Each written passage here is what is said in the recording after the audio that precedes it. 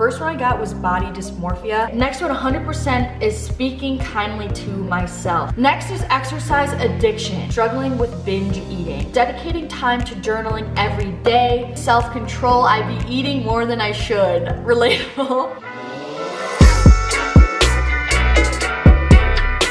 What's up? Welcome back to my channel.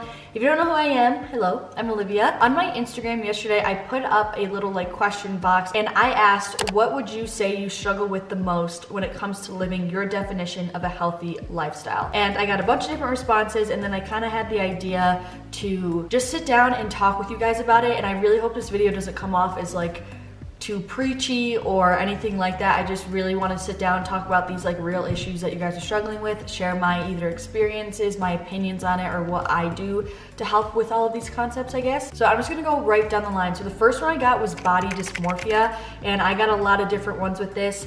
And this I completely understand is something that I feel like everyone struggles with, and I feel like it's personally my opinion, I don't really think it's ever something that's gonna completely gonna go away. I feel like it's always gonna be there, but something that I've done to try to help cope with that because in the beginning of my fitness journey, I was so consumed with my physique and I actually just did a whole Instagram post about this. I place so much of like my identity and my self-worth and my value in my physique results from the gym and obviously body dysmorphia plays a really big role in that where you don't feel like your body is where you want it to be or you just see yourself in a skewed way. So what I've done to cope with that is I really have tried to separate like my goals in the gym and my identity and how I perceive myself. Like my goals and progress towards the gym, my physique, my body, all that stuff is business. It's nothing personal. It doesn't define who I am as a human being. It doesn't make me any lesser or any greater. So for me personally overall, simply not identifying and placing my identity in my physique and in my goals and in my progress towards my goals in the gym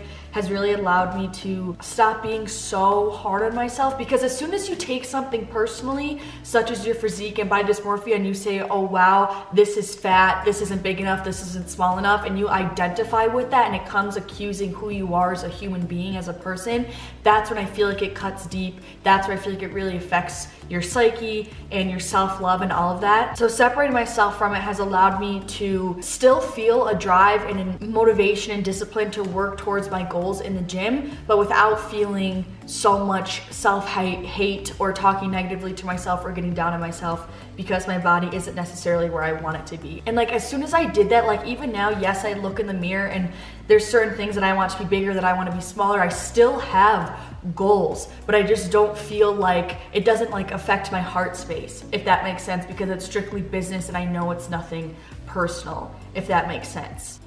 I don't know if that just made sense.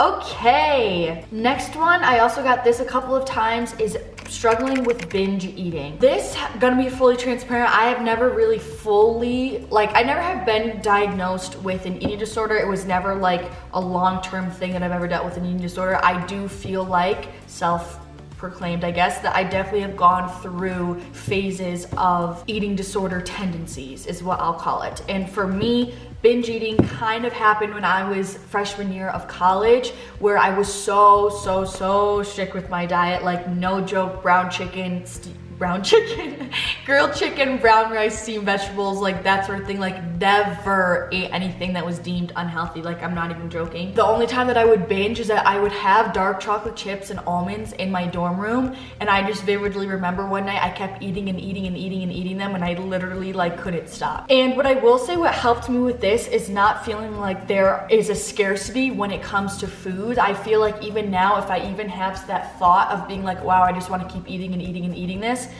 I always think like the food isn't going anywhere and I think that was a really big thing that like switched a switch switched a switch for me in my brain. Just with junk food in general, I used to think like that was my only opportunity to eat it. So if I don't eat it now, I don't know when I'm gonna get it next because I'm gonna need to be on track. And just the thought of me being like, you know what, actually I can have this whenever I want. If I really still am dying to have this tomorrow, I can drive to the store and go buy more. That kind of concept and perspective of thinking it's always gonna be there or and I can go get it literally whenever I wanted to eliminated that scarcity factor for me. Maybe be like, okay, I don't need to eat it all now because I can get it tomorrow. And the catch is always the next day I really would like, I can't think of a time where then the next day I proceeded to go buy it from the store. Because then by the next day it just was gone. Like it's just so much of a relationship with food is such like a psychological thing and that's why it's I am so into your mindset and things like that and value that because it really does play a huge role when it comes to fitness, whether that being pushing yourself in the gym or knowing how to create boundaries with food. Okay, next one 100% is speaking kindly to myself. I got a couple of those too. Self-talk, actually was just talking to my sister about this yesterday. I feel like there's either negative cycle of thoughts or positive cycle of thoughts of thoughts. And it's up to you to switch from that negative cycle to hop into that positive cycle. The thing is, is that your thoughts are habits. They are habitually learned patterns. So just like forming any new habit, you need to do the same when it comes to your thought processes. And a lot of people overlook this concept because they just don't think it's true, but it is. If you're having constant negative thoughts about yourself in your brain, that is something that you, whether you realize it or not, consciously or unconsciously, have developed a pattern and a habit for. So what I do and when I told my sister yesterday, like if you have a negative thought in your brain, like it's up, the first step is having awareness of that thought and not again, kind of what I talked about with body dysmorphia and your goals. There's no need to identify with the thought. A thought is a thought. It doesn't identify or define who you are as a human being. That thought isn't an absolute truth. It's not the truth. It's just a thought. And it's up to you to define and declare what you deem as truthful, if that makes sense. So, for example, if I'm looking in the mirror, thought comes into my head, you look fat today it's all relative it's all subjective of what is what is fat all that stuff what, what's deemed as attractive what's deemed as unattractive. So first step is having that awareness of saying whoa i just thought a negative thought about myself. And as soon as you have that awareness that's when you come into the present moment and are able to actually decipher your thought. And i always picture there's as two lanes. You can keep going in that negative mindset and keep that momentum for the day or you can switch it and go into the positive avenue and have that momentum take you through the day. Like i said once you have that awareness of like whoa i'm I'm stepping into my consciousness. I just had a negative thought. Now it's up to you to make the effort to make the change and change the thought that you have about yourself. And I'm not kidding. I literally will do this if sometimes, especially if it's in the morning, because my morning really sets a tone for the day. If I wake up and for some reason I look in the mirror, I'm like, oh my gosh, that pimple's ugly or that looks gross. Da, da, da. I literally will be like, come into awareness, recognize what you just said. That was a negative comment that's not true. Speak kindly to yourself and I'll switch what I say to myself right then and there. People think that mental things, since you like can't see it, it's not, you don't exercise it the same way. You exercise your thoughts and brains the same way that you go into exercise in the gym.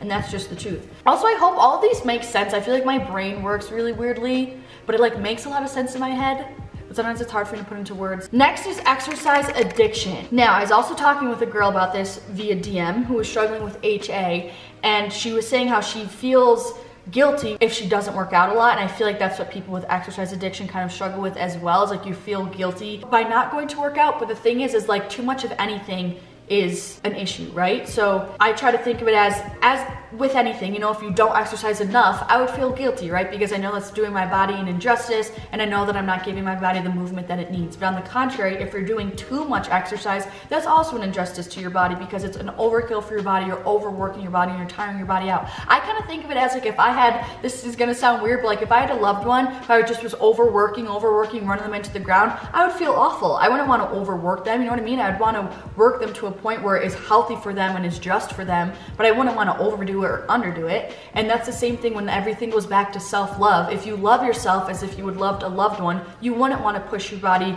way past its limits to the point of depreciating itself, essentially, or too little and being lazy. And then another one was dedicating time to journaling every day. I totally feel this. First of all, I also want to like obviously fully transparent. I don't journal every single solitary day. I personally probably do it like anywhere from four to six days a week, but it just kind of depends on if like I really need it for the day or how busy my morning is. What has helped me is to just place it in my routine. So it's literally in my morning routine, just like you brush your teeth every morning. After I do that, I always go and try to journal. So that's something that really helps it be consistent in my routine is just placing, it's called habit stacking. But another thing that has helped me a lot is especially with school starting, I haven't had as much time in the mornings to journal. So sometimes what I'll do is I'll just go back and read my affirmations out loud, or I'll go back and read my previous like gratitude list out loud, or it's just a lot quicker and it just saves a lot of time, but it still allows me to like align my mindset and my feelings for the day. Okay, next one is staying away from snacking. Now, another misconception I feel like is that people think snacking is bad.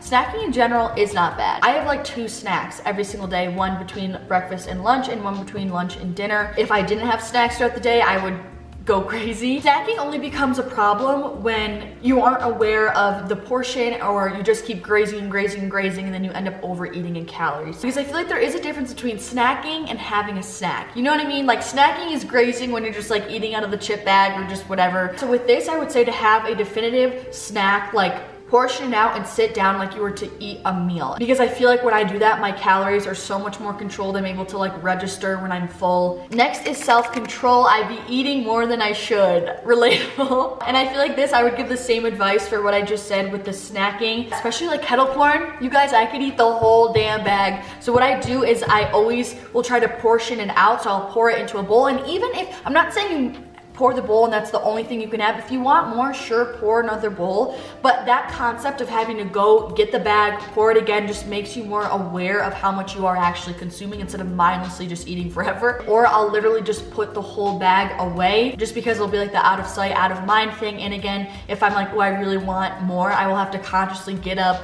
go to the pantry, open up the bag, and I just am more aware of how much I'm consuming. Next, balance with food. I feel this I have a sweet treat almost every single day. Sometimes I'm like really full after dinner, so I'm like, I don't have room for this. But other than that, I have Oreo thins every single night. I feel like everyone's definition of balance is different. I feel really strongly about that. And I personally feel like it takes everybody experimenting to find where that line of balance is for them. And I think a big thing that has helped me with finding balance with food is how I view food in general. I think really taking off the titles of what is a good food, what is a bad food, has allowed me to kind of simply just eat without feeling like I'm doing something wrong. This kind of relates to having balance with food. And a lot of people say like feeling like there are off limit foods and feeling out of control around junk food and just like fear foods and all that stuff. So I completely understand this. I used to struggle with feeling like there were off limit foods. I was scared to eat certain foods because I thought they were gonna make me gain weight, the whole nine yards. And once I kind of removed the label that there are good and bad foods, unhealthy and unhealthy foods, and just viewed it more as nutritious versus less nutritious foods, that has completely taken the pressure off of my eating and how I view foods. This is why it's insane because it's just such a mental game with your perspective on food. Like literally as soon as I felt like there wasn't a scarcity component or there wasn't an off limit component, it took away any sort of irrational wanting or craving for these certain things. It was like I can have them whenever I want. It's not off limits. And what I've learned over the years is that it's not really about what you eat that's gonna make you gain weight. It's your caloric intake over the whole total of the day. So as this is my thing, as long as you're honoring your hunger cues, you're gonna stay somewhere within that maintenance level calorie range for your body for the day. If you're just honoring your hunger cues and cravings throughout the day of, okay, still making healthy choices for your meals, for your snacks, but then when you want something sweet, just have a serving of that something sweet in moderation, you're still gonna fall in that caloric window and it, there's not gonna be any sort of penalization, I guess, if you will, for eating that food. If anything, it's gonna fulfill that craving, it's gonna get put your mind at ease and you're gonna feel more satiated. Next is hunger cues. Someone also said struggling to know when I am full. This I don't feel completely qualified to speak on, but I do know that sometimes hunger cues can take a little bit to develop, especially if they have been ignored in the past. I will say sometimes, especially if you're under eating, your hunger cues will be more suppressed. So I do find that slowly increase your caloric intake over time will allow you to have those hunger cues come back. And when it comes to struggling to know when I am full, a big thing that helps me with this is a, making sure I'm properly hydrated throughout the day because find when I'm dehydrated, I'm just like constantly snacking. I'm just never satiated no matter what I really eat. So I make sure that I'm hydrated. And with that, I'll try to drink a glass of water either like before or after the meal. That helps me feel way more satiated. Or also when I eat more slowly, I'm really able to like slow down and register when my hunger cues kind of click in to tell me that I am full. Eating out of emotion, we have food has always been like a comforting thing to me and I can't seem to get away from that. And someone else said comfort food.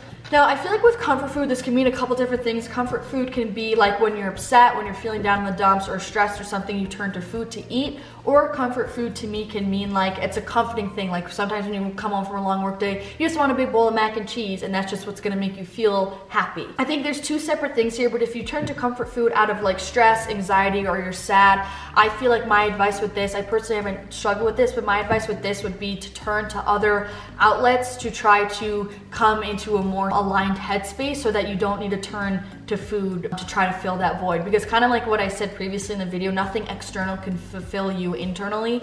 So I think just doing the internal work and finding different stress techniques, like for me, that's journaling, that's meditating, that's going for walks, that's exercising, just finding different emotional and mental outlets to clear your mind. And then if it's something, if it's a comfort food in terms of like, it's like after a long work day on a Friday, you want a bowl of soup or mac and cheese or something like that. I guess I would say to try to find like a healthier alternative, I guess. you you can still have your comfort food, but in a healthier way. Or like I always say eat it in moderation you know what I mean? Like make a normal meal that's going to satiate you that's going to make you feel fuller but then you can also have your little bowl of that comfort food. All right, I feel like we talked about a lot of different topics in that video and a lot of important ones.